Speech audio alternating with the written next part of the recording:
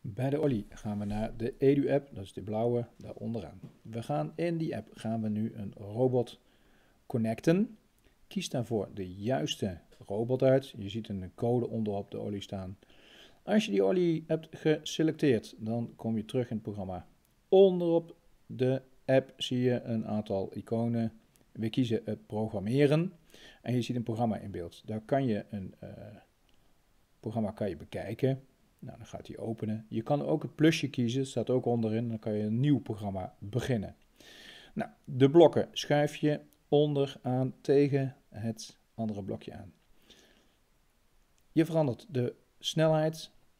Je moet ook het aantal seconden veranderen. Anders gaat hij het namelijk niet doen. Dus we hebben nu 2 seconden.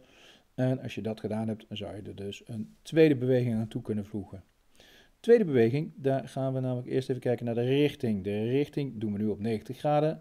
En dat is vanuit het beginpositie bekeken. Ook hier moeten we de snelheid weer aanpassen. En we gaan ook de tijd uiteraard weer aanpassen. En dat wordt nu een 1 seconde.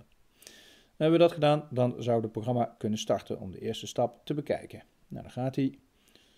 En je ziet een klein grafiekje, dat is niet zo erg. Kijk naar de robot, wat hij gaat doen en pas eventueel je programma aan.